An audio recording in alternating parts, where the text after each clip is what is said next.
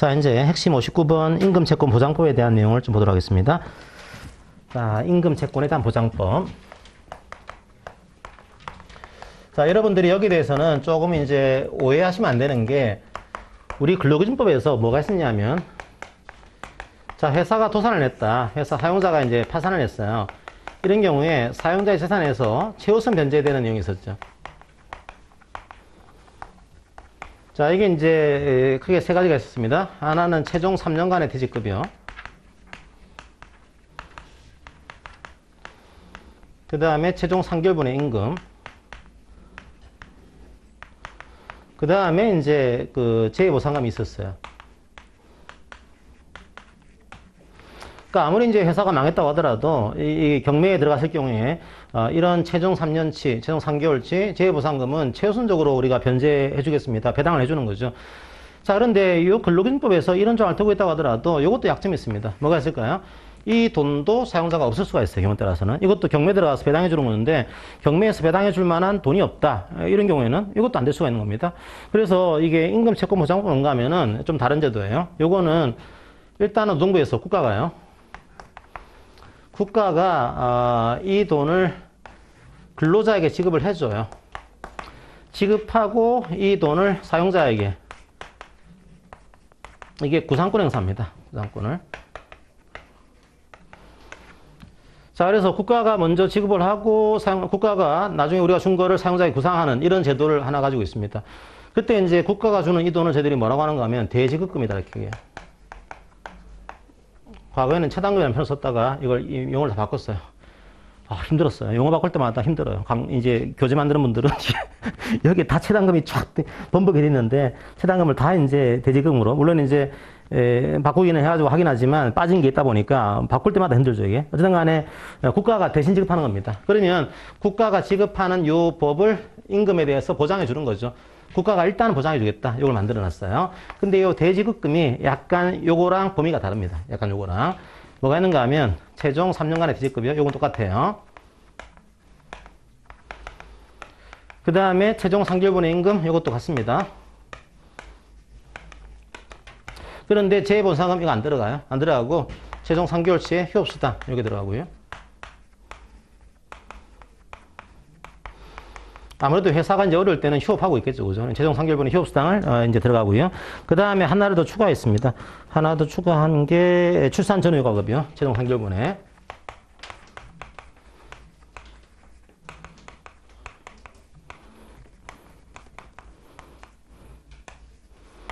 자, 요거를 일단 국가가 아, 먼저 지급하겠습니다. 대신 지급하겠습니다. 대지급금을 이렇게 네 가지 형태로 해서 요걸 만들어 놨어요. 일단 요렇게 먼저 이해하시고 아 국가가 이걸 주고 나중에 사용자에게 구상하는 제도구나 그렇게 일단 이해하시고 내용을 보겠습니다. 자 그러면 552쪽에 2번 정의는 이제 근로기준법에 따른 정의를 그대로 많이 가져갑니다. 자 근로자 똑같고요. 사업주는 근로자를 사용해서 사업하는 자. 자, 임금 보수 이렇게 나오고 중요한 것은 적용 범위. 적용 범위는 여기 특이하게 산재 보험에 연동돼 있습니다. 이게 임금 채권 보장에 대한 보험료랑 연동이 되어 있거든요. 그래서 이건 산재 보험 의무 가입장에 이걸 적용해요. 산재 보험 의무 가입장에 의무 사업장에 적용한다. 다만 국가나 지자체가 직접 수행하는 사업은 적용하지 않습니다.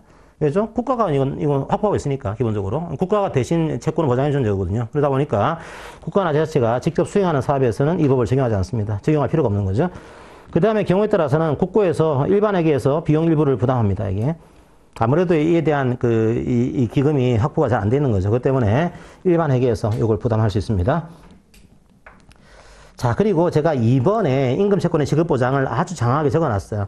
나중에 여러분들이 보시고 나서, 아, 이게 모르겠다. 이해가 안 되실 때 이걸 읽어보시고요. 쭉 넘어가요. 넘어가서 요약된 걸 보겠습니다. 요약된 거. 요약된 것만 보더라도 뭐 크게 1차에서 지장 없습니다. 556쪽에 그 표를 하나 그려놨어요. 표. 그 표 중심으로 여러분들이 보시면 되겠습니다. 자, 이게 대지급금이 있습니다. 야, 이거 뭔가 하면은 대신 지급하는 거죠. 요 대지급금이 두 개가 있는 거예요. 제도가 형태가. 하나가 어, 도산했을 경우에 대지급하는 거. 여기 하나 있고요. 그 다음에 간이 대지급금이라고 있습니다. 자, 원래는 어떻게 했는가 하면, 원래는 회사가 도산을 하면은 대신 지급했습니다. 그러니까 회사가 망해야 되는 거죠. 회사가 망하지 않게 되면 국가가 지급하지 않는 겁니다. 근데 만약에 제가 임금 체불을 당하고 있어요. 회사는 망하지 않았어요. 그런 경우에는 이걸 받지 못하는 거죠. 그러다 보니까 만약 회사가 도산하지 않았다고 하더라도 뭔가 국가가 대신 지급하는 제도가 있어야 되는 거 아니야? 라고 해서 설사 회사가 도산하지 않았더라도 어, 임금 체불에 대한 판결을 받게 되면 임금 체불에 대한 노동부의 확인서를 받게 되면은 어, 그때도 국가가 대신 지급하겠습니다. 이 제도를 추가시킨 겁니다. 원래는 이걸 도산했을 경우에 지급하는 건데 이제는 그렇지 않더라도 판결이 있거나 노동부에서의 확인서가 있으면 지급해야 된다. 요거를 만들어 놨어요. 첫 번째로 도산의 지급금. 어, 요거는 이제 금액 어, 범위는 똑같습니다. 최종 3개월분의 임금, 최종 3개월분의 휴업수당, 최종 3년분의 퇴직급여, 최종 3개월분의 출산휴가급여. 요걸 지급하는 구조고 도산 대지급은 뭔가 하면은 파산 선고, 회생 절차 개시 결정. 그러니까 일종의 법정 도 산하고요. 사실상 도산이 있습니다. 자, 이 경우는 이제 파산 선고라든지 회생 절차 개시 이걸로 정해놨고요. 근데 법적으로 선고를 받지는 않았어요. 파산 선고를. 근데 가보니까 이미 회사는 도산된 거랑 다를 바가 없어요. 보니까 뭐 공장이 풀나 있고 지금 아무것도 없어요. 그런 경우에는 도산에 대한 판결, 선고를 나지 않은 겁니다. 그래도 줘야겠죠. 그죠? 그래서 사실상 도산 맞다. 이걸 인정받게 되면은 이걸 청구할 수가 있습니다. 받을 수가 있어요. 자, 그런데 간이 뒤집금 뭔가 하면은 파산 선고라든지 법정 도산이라든지 사실상 도산 이게 된 게 아닙니다. 단지 임금 체불에 대한 판결이 있는 거예요. 판결이. 전국적인 판결. 돈 지급해라 이런 판결문을 받은 겁니다. 도산하지는 않았지만 그 다음에 노동부에 가게 되면은 이게 체불임금 맞으면요 노동부가 뭘 주는가 하면 체불임금 확인서를 이제 발급해줘요.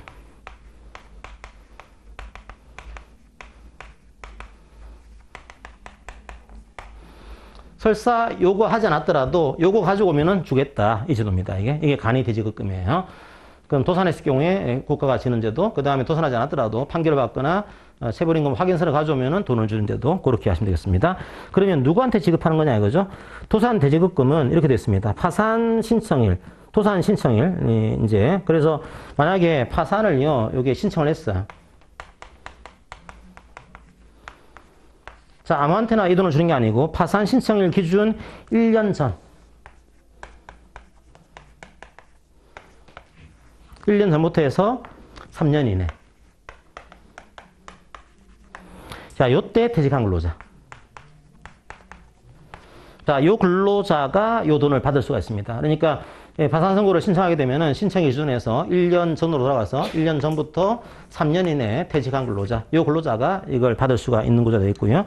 그 다음에 이 간이퇴직금은 파산 도산이 아닌 거죠. 그러다 보니까 두 가지가 있는 겁니다. 하나가 소송을 제기하거나 하나가 노동부에 진정을 하거나 이런 구조예요. 그러니까 노동부에 만약에 진정을 했다, 소송을 제기했다 이런 경우에는 자 어떤 구조인가 하면 어, 이 간이퇴직금은 재직하는 근로자도 받을 수 있고요. 퇴직한 근로자 받을 수 있습니다. 그래서 1차적으로 퇴직한 경우에는 퇴직을 다음 날부터 2년 이내에 소송을 제기해야 됩니다. 퇴직한 다음 날부터 2년 이내. 그러니까 항상 소송은 이렇게 보시면 돼요. 소송은 2년 이내 보시면 되고요. 퇴직한 날부터 2년 이내.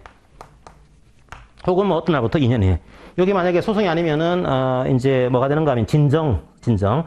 자, 이제 퇴직한 날에 1년 이내 진정.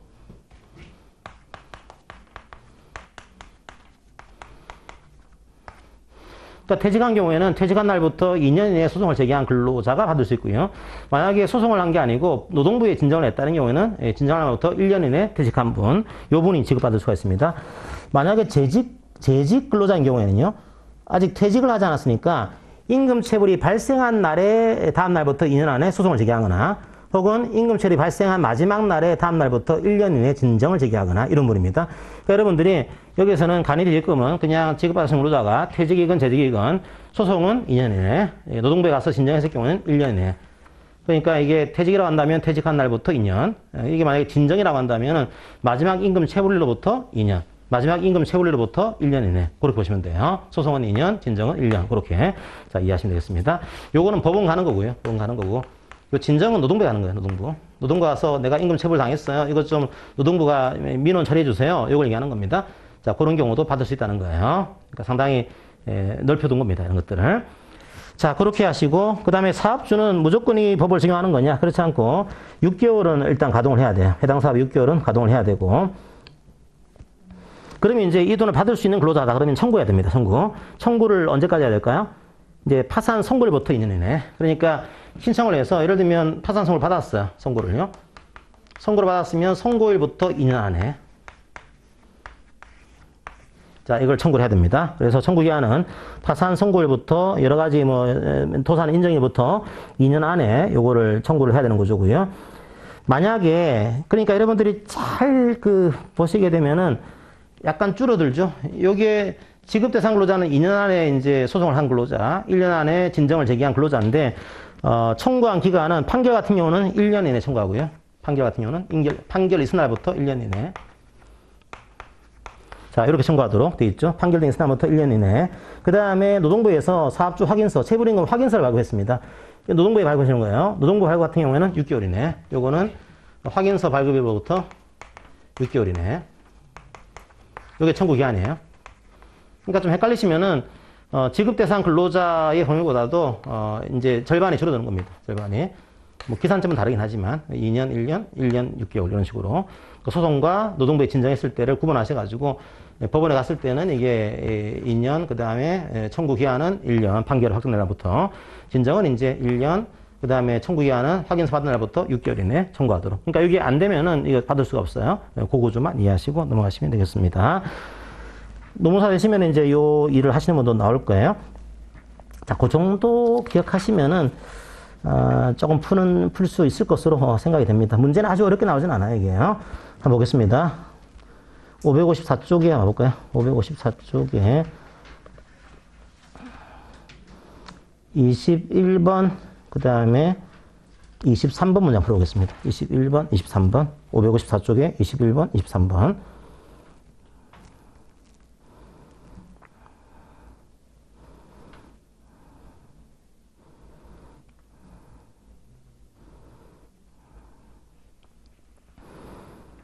예, 21번은 들어가고 23번은 3년이 아니고 2년이죠, 그죠? 2년 이내에 예, 요, 요 청구를 해야 됩니다.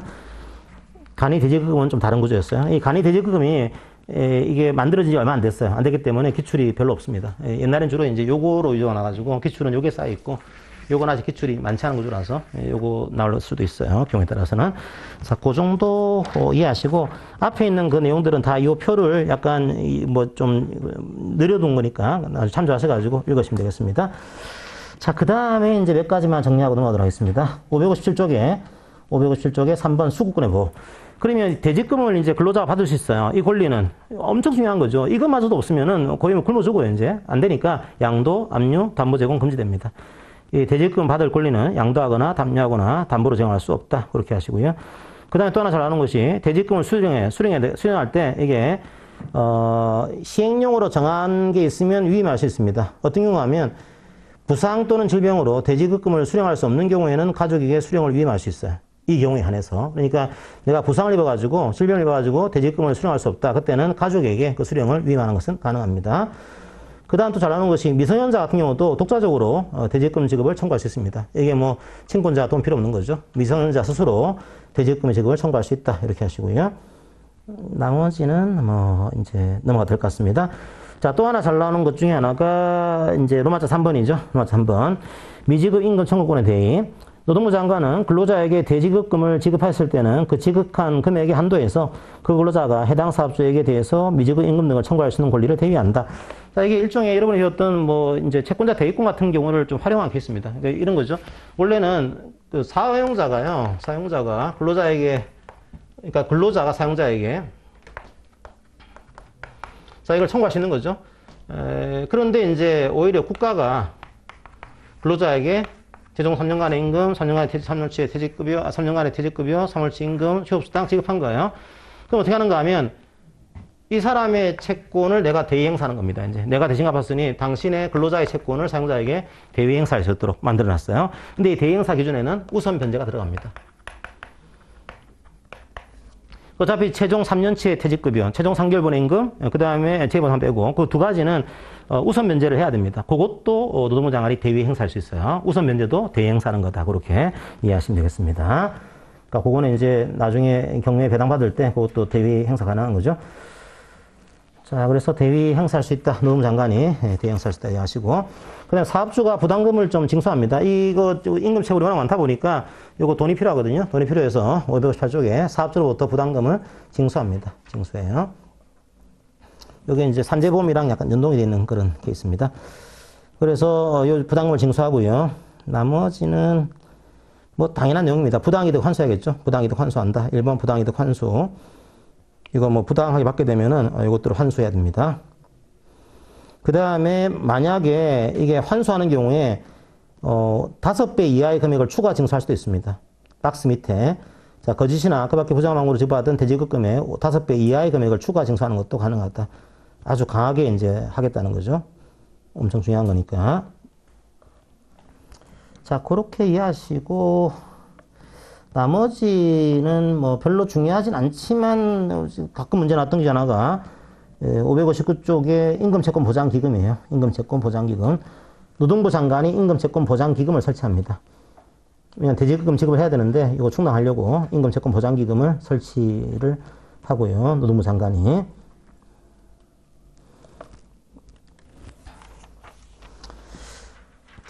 뭐 나머지 것까지도 어떻게 하겠어요, 그죠? 그래서 아 이걸 제가 굳이 기타 사항을 적어둔 게 안 하려고 하다가 이게 기출이 된 게 있습니다. 되게 있다 보니까 한 건데 이 기출은 좀 제발 좀 그래요. 굳이 뭐 이런 것까지 상세히 공부를 해야 될까? 그래서 뭐 얼마 벌금, 얼마, 이하의 징역 이것까지 말아야 되냐 그런 내용이 있는데 일단 적어놨으니까 나중에 기출 보시면서 참조를 그냥 하시기 바랍니다.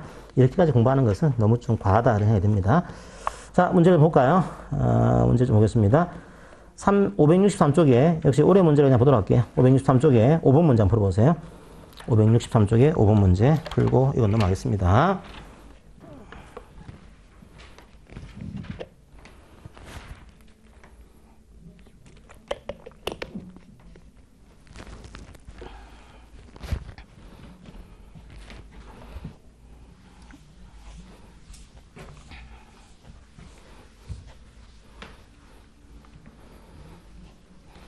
어쨌든 이 부분 뭐 제일 문제가 쉽게 나오면은 뭐 임금 채권 보장법에 따른 뭐 이제 범위가 제일 잘 나오고요. 최종 3년간의 대직급여, 최종 3개월분의 임금, 그 다음에 최종 3개월분의 휴업수당, 3개월분의 출산휴가 급여, 요게 제일 잘 나오고 나머지 것들은 그냥 도사 안에 있을 경우에 어, 지급 대상 근로자하고 그 다음에 청구 기한하고 요게 제일 잘 나오는 구조고 그 다음에 압류 뭐 이제 이런 거 안 된다라고 하는 거 그 다음에 미성년자도 독자적으로 청구할 수 있다 이런 것들 자 그 다음에 또 이제 그 대의할 수 있다라고 하는 거, 에, 이제 대의권이 있다라고 하는 거, 그렇게 잘 나오니까 그 정도 기억하시면 웬만한 것들은 볼 수가 있을 겁니다.